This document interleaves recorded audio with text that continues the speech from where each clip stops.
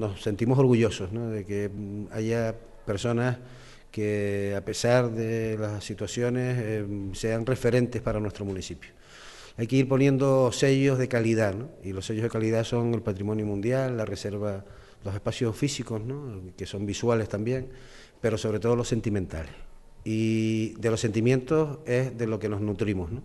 Y que San Matías tenga ahora eh, un conjunto de personas que han estado durante largos años luchando y con el coste que supone eso, con la falta de valoración de un deporte que es, mueve cientos de millones y que por una cuestión de género pues baja y es descompensado. Eh, que tiene además una historia eh, importante ese barrio, que hayan sido acogidas ¿no? en, ese, mm, ese gran eh, mm, equipo de convivencia. Pues como decía, son los sentimientos. Y luego para la laguna es un sentimiento, otro sello de calidad al lado del patrimonio mundial que tengamos un equipo en primera división.